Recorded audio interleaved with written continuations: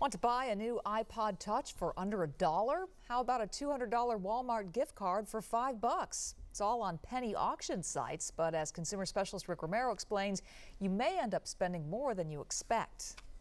So they had it listed at $15.99 for the Mac ProBook.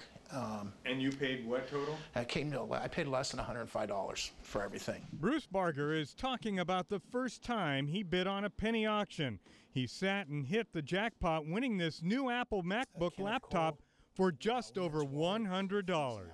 Since then, he's won several items, including a $25 Kohl's gift card that cost him just 32 cents.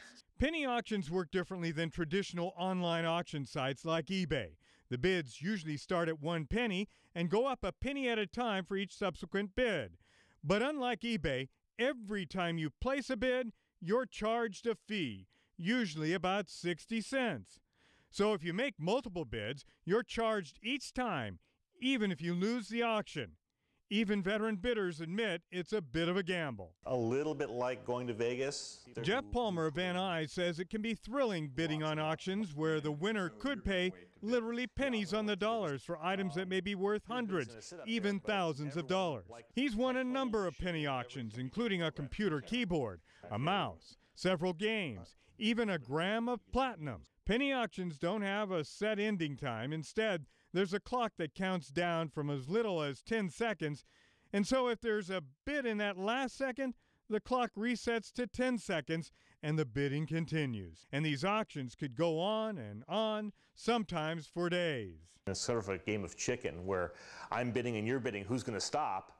And the third guy is watching and he turns away and I stop and he looks back you won. In order to bid, the websites first require users to join and pay a fee that can range up to $160, even more.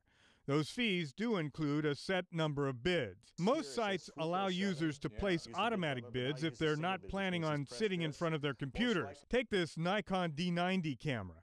The auction site Swoopo says it's worth $1,056. When we checked, the bids were up to $192.96.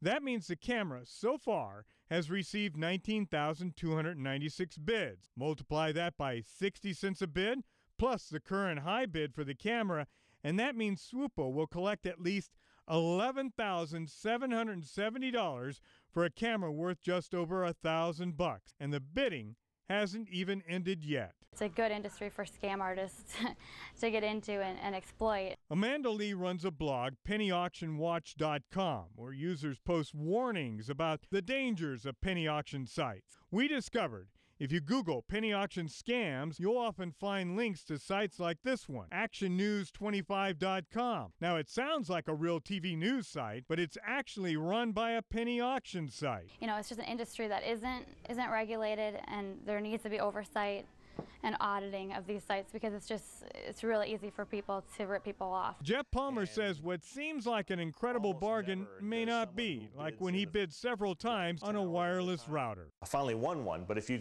take into account the one that I actually won, plus all the times I tried to get it, I really paid more than I should have for it. While you may be able to pick up an incredible bargain, you can also easily overpay for items or spend money without ever winning an auction.